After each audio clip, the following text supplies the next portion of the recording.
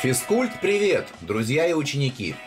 Вы все знаете, что у меня грыжи и протрузии, и как я преодолел их, когда взялся за свое лечение самостоятельно. В то время, как почти три года врачи лечили меня, так что мне становилось все хуже и хуже. Но сегодня я снова приседаю и тяну за 200 килограмм. И не испытываю проблем со спиной. Да и травмы я получил не от этих упражнений и вообще не на тренировках. И мой опыт, а также опыт тех, кто прошел по моим стопам, показывает, что не в упражнениях дело, что становая тяга, как и приседания, выполняемые в идеальной технике, пусть и с большими весами, не являются причиной проблем и заболеваний позвоночника. И современная медицина подтверждает это. Кому интересно узнать об этом подробнее, советую прочесть мои статьи об истинных причинах проблем позвоночника и суставов, и о том, как я преодолел их и вернулся к тяжелым приседаниям и тягам. Сегодня поговорим о нюансах в технике становой тяги, о которых редко говорят, но которые крайне важны как для прогресса, так и для сохранения здоровья. Ведь многие выполняют упражнения абы как, а потом грешат на его вредность и опасность – не понимая, что сами виноваты в своих травмах и проблемах. Давайте разбираться с некоторыми из них по порядку. Когда я говорю «идеальная техника», надеюсь на то, что вы все понимаете, что у каждого человека она своя, из-за индивидуальных антропометрических особенностей строения тела. Но нюансы, которые помогают каждому оставаться в безопасной зоне выполнения упражнений, одинаковы для всех, как законы. Первое, что я всегда замечаю практически у 90 занимающихся, это неправильный подход к штанге. Для занятия стартовой позиции. Когда вы подходите к снаряду, гриф должен касаться ваших ног. Между ними не должно быть и сантиметра пространства – если это игнорировать, то вы начнете движение уже с неправильной позиции, когда вес тела будет распределен неправильно, и коленки будут мешать вам при подъеме. Я об этом уже не раз говорил и в статьях, и в видео. Но люди до сих пор присылают вопросы. Почему мешают колени? Что при подъеме штанги, то и при опускании. Найдите у меня много и статей, и видео именно на эту проблему. Занятие неправильной стартовой позиции – это основная причина того, что ваши колени мешают вам при подъеме, и само движение у вас уже будет заведомо технически неверным и потенциально опасным. А вот теперь для тех, кто скажет, что различия в рычагах из-за индивидуальных антропометрических характеристик диктует и разницу стартовой позиции, должен задуматься – что при том положении, когда вы касаетесь грифа ногами на старте, затем опускаете и отводите таз назад, как для приседаний, вы сможете, а точнее тело само скорректирует удобное положение для старта. Но сделать это возможно только, когда гриф и ноги касаются друг друга. Просто поймите, что когда гриф не касается ног на старте движения, вы не будете уводить таз назад, вниз – что является залогом грамотного выполнения.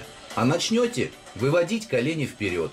А это уже не имеет ничего общего с правильной и безопасной техникой.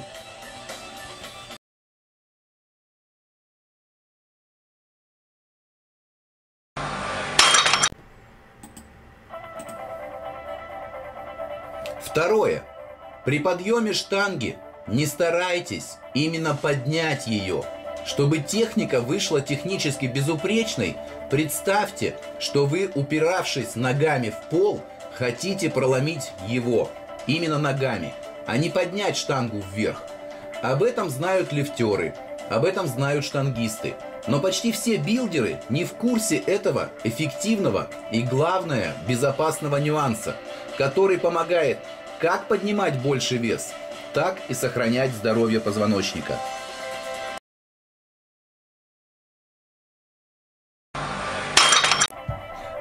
Третий нюанс вытекает плавно из предыдущего и заключается в следующем. Вы наверняка видели, как глупые мамаши отдергивают своих непослушных детей. И большинство занимающихся точно так же пытается рвануть штангу с пола при подъеме, что является большой ошибкой. Естественно, что движение должно быть взрывным, но вот как оно должно осуществляться грамотно на практике. Вы подошли к грифу вплотную, он касается ваших ног. Увели таз назад и вниз, сделали глубокий вдох и, упершись руками в гриф, пытаетесь ногами проломить пол, но не рывком, а плавно, накапливая потенциал энергии, пока не произойдет отрыв штанги от пола. Все это должно быть быстро, но не рывком, дергаясь как червяк на крючке, что показывают многие. Вы навредите себе. Вы должны аккумулировать энергию, подобно мощной пружине –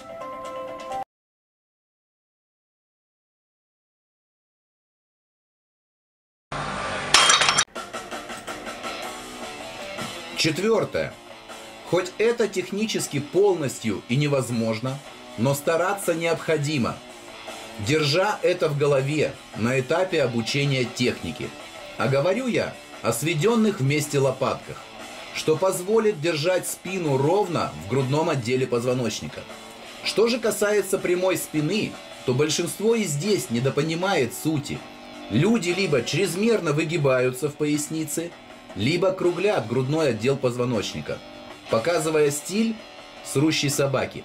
На самом деле все, как всегда, просто. Спину нужно держать прямой, сохраняя все естественные прогибы и изгибы позвоночника. Только тогда вы страхуете себя от травмы.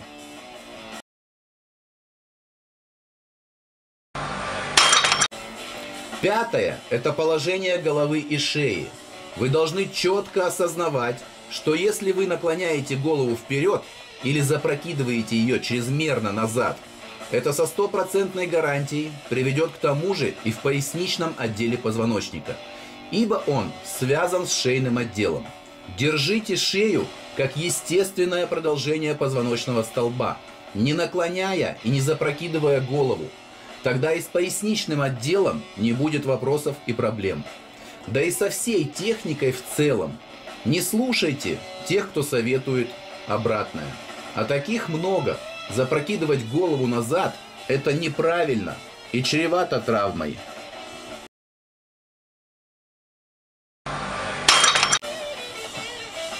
Шестой нюанс касается как становой тяги, так и румынской тяги. Гриф на протяжении всего движения должен соприкасаться с ногами – не отрываясь ни на каком участке амплитуды. Это очень важно для сохранения вашего здоровья.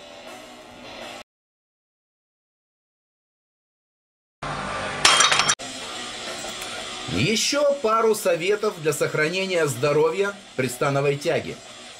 Не используйте разнохват, если не собираетесь выступать на соревнованиях по пауэрлифтингу. Никогда. Не одевайте тяжелоатлетический пояс, если вы не выполняете в подходе меньше трех повторений. А меньше нам с вами и не нужно, и опасно. Можно использовать мочерчатые пояса для сохранения тепла в пояснице, как это делаю я. Никогда не работайте в становой тяге до отказа, как и в приседаниях. Не выполняйте рекордных попыток, то есть не делайте разовых повторений, разовых подходов. Это замедлит прогресс в росте силовых показателей и чревато травмой. Минимум три повторения с одним повтором в запасе. Запомните, отказ убивает силу. Всегда тщательно разминайтесь, выполняя как общую, так и специальную разминку, не забывая, что экстензии спины входят в общую разминку. Друзья, погоне за массой не забывайте о фундаменте здоровья, о крепких связках и сухожилиях, которые регламентируют как рост массы, так и рост силы. И то, насколько безопасными и долгими будут ваши тренировочные годы. А как это делать, уже есть статья и видео.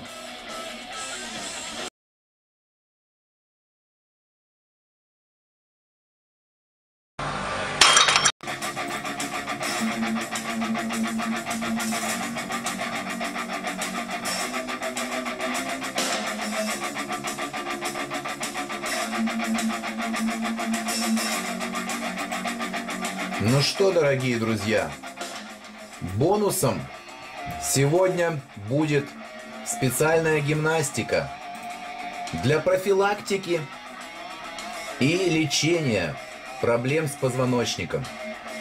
Особенно она актуальна тем, у кого проблемы с поясничным отделом позвоночника.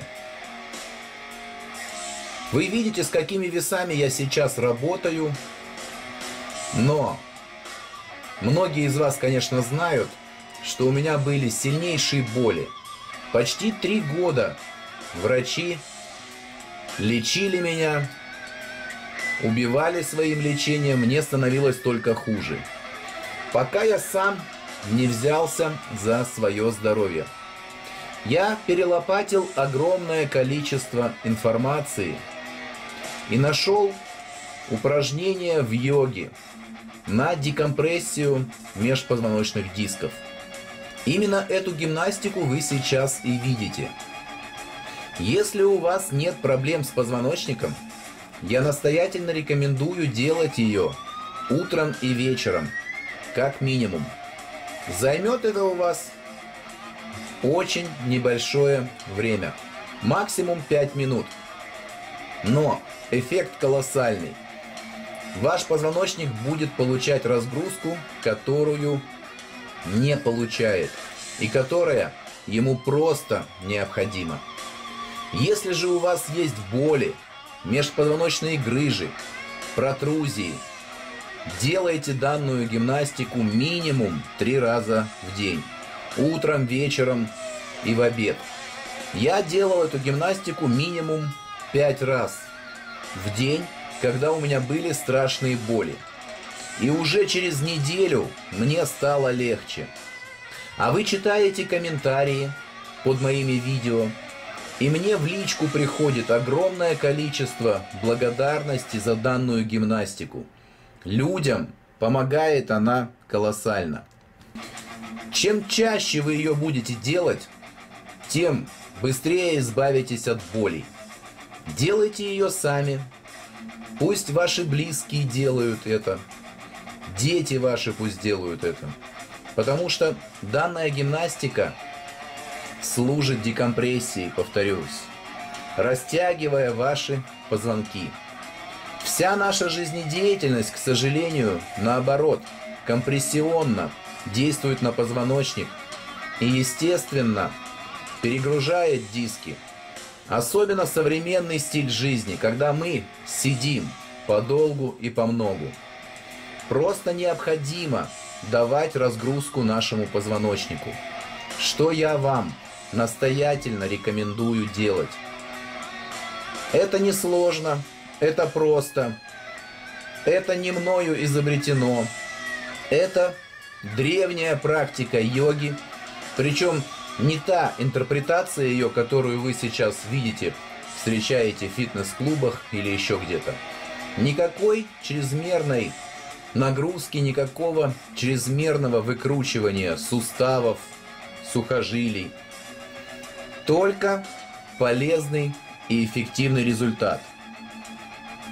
Не ленитесь, выполняйте данную гимнастику, и будет вам счастье и здоровье. Самое главное, вы сможете уберечь себя от травм. И если вы занимаетесь в тренажерном зале, вам просто необходимо, как воздух, выполнять данную гимнастику. Также полезно выполнять эти упражнения сразу после становой тяги и приседаний и в конце тренировки. Естественно, чем здоровее будет ваше питание – тем здоровее будет результат.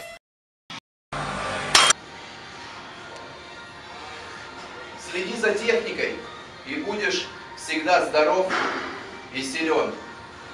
Это основа, залог, база долгих, грамотных тренировок.